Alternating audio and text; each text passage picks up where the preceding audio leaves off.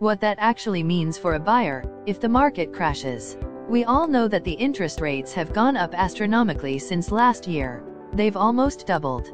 Last year in the height of this market, our interest rate was 2.59, so let's say for a house that was $800,000. Their mortgage payment over 25 years would have been about $2,900 now. Fast forward as of the moment interest rates are about 4.79, and let's just say that this house over here at 800,000 went down in value by 10% to 720,000.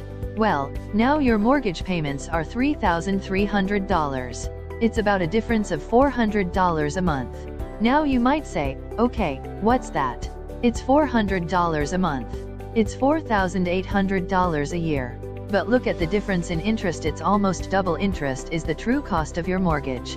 In the first scenario at the height of the market, you're paying $16,000 in interest today, you would be paying $27,000 for that same home. So don't be fooled by prices going down because your monthly payments is what you should be looking at. And your monthly payments is a function of not just the price, but the interest rate as well. To learn more about Toronto real estate please contact or visit us at 647-201-7888 or 416-271-5824 www.diamondgroupandteam.com